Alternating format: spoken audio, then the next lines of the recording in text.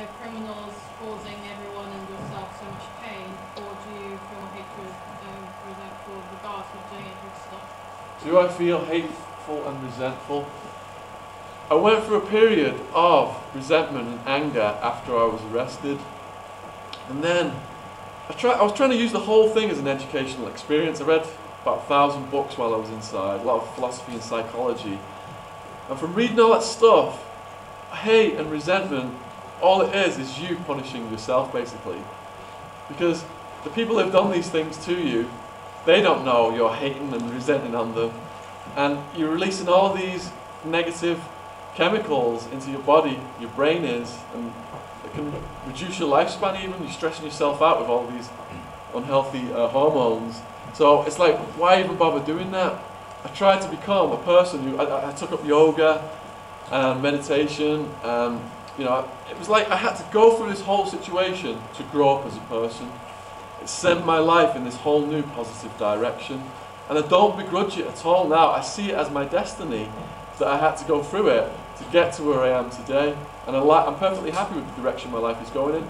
And it was even the hardest moment for me, living with the cockroaches and getting so stressed out, I was contemplating just slashing my wrists and killing myself. It was like I was on the edge of madness, but being there and coming away from it, it's, it's strengthened me now mentally for the rest of my life. So I'm grateful for it. I don't resent it or hate it. The system or any of the people on either side, the guards or the prisoners.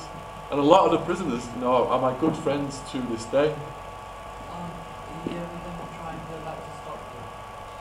Alright, it's in my DNA. The first thing I do when I go home is I check how the stock market is doing.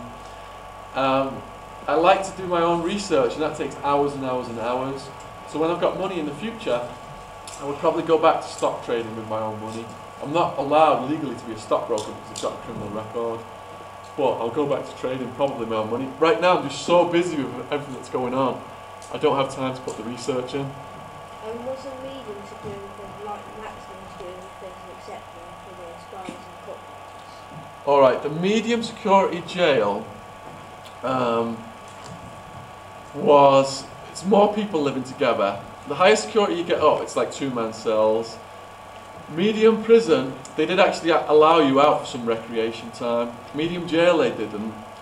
But in maximum, you very rarely get out of your cell. And in super maximum, you never get out at all. In super maximum, there's a trap on your door. Armed guards in full battle gear come, shank-proof armour, come and feed you through a trap in the door. If you want to take a shower, you've got to back up to the door, put your hands to it, and they will handcuff you, and then the door will slide open, and the, these armed guards will escort you to the shower, and you've got to do the same. Back out, hang, unhandcuff you, and you can take a shower. And you, they can leave you stuck in the shower for hours and hours on end as well before they'll come back and let you out. So it gets really intense. The higher up you go, security classification. Also, you can supplement your diet with certain things you can buy from the inmate store. If you're in minimum, that list is long. If you're in Supermax, that list is tiny. They will not let you buy many things at all because everything's weaponized.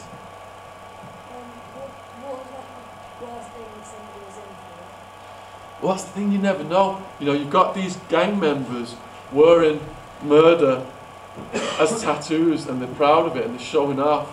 But on the other hand, like, you know who they are. On the other hand, I had a cellmate in Super Maximum.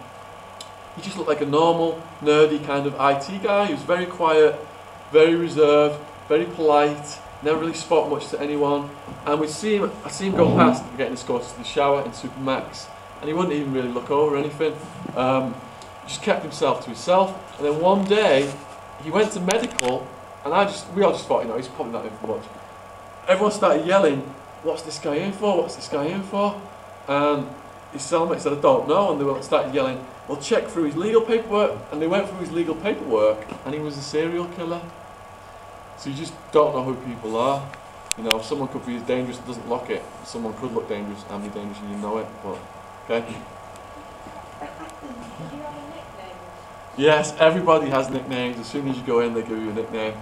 My nickname was England a lot of people, it would be like their hometown and stuff like that, so they call me England. And again, I was glad they did that because it was a talking point. The gang members would come and say, you need to go to the white boy meeting.